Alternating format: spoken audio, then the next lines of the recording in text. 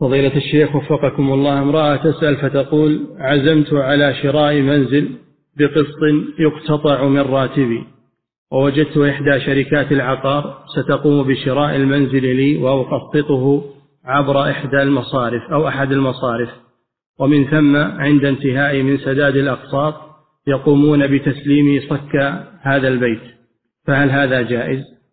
إذا كانوا يملكون البيت وباعوه عليك بأقساط فلا بأس.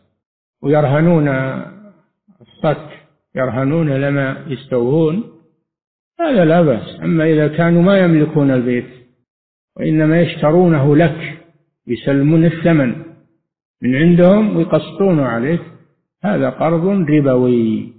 أقرضوك ثمن البيت بزيادة لأنهم لا يملكون البيت وقت العقد. ولم يشتروه لهم أيضا اشتروه لك. وسلموا ثمنه قرضا عنك. هذا لا يجوز. نعم.